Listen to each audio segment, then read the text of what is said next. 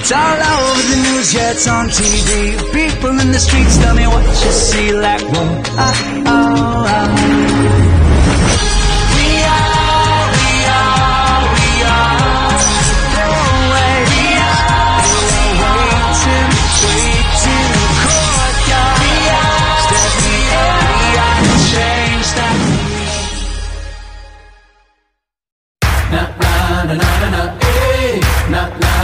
na na oh, na na na na na.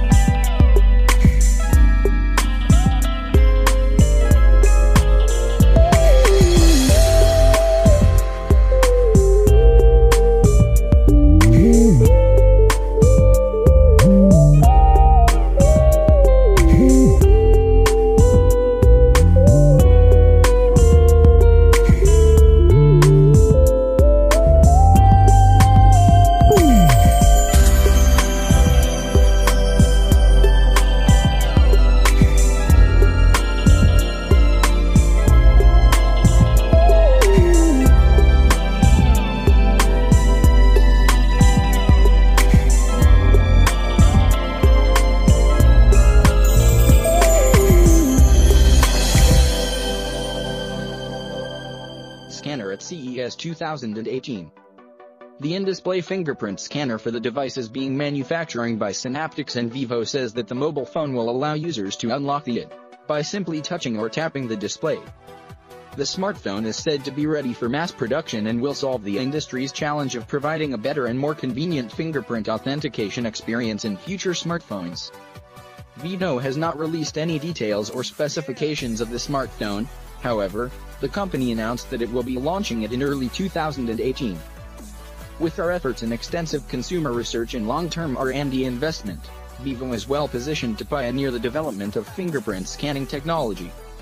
We first presented a prototype of our fingerprint scanning solution at MWC Shanghai 2017 based on an ultrasonic sensor, and have remained committed to realizing our vision for future smartphones, said Alex Feng, Senior Vice President of Vivo.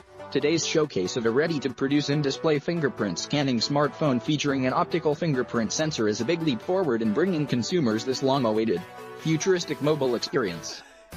We are very excited to make it available to consumers soon, he added. Last That's it. month, Thanks for Synaptics watching, announced that it is Give a thumbs collaborating with the top five and companies for rolling out its in-screen fingerprint sensor for bezel-less smartphone displays.